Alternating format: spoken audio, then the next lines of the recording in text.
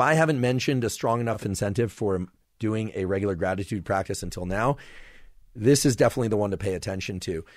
Because what they found was a regular gratitude practice could shift the functional connectivity of emotion pathways in ways that made anxiety and fear circuits less likely to be active, and circuits for feelings of well being, but also motivation to be much more active. A lot of people who are highly motivated also have issues with anxiety and fear.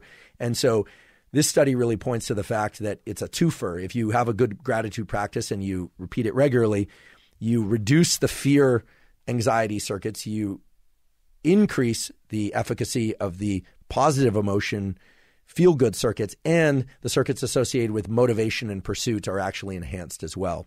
The first author is Hazlett.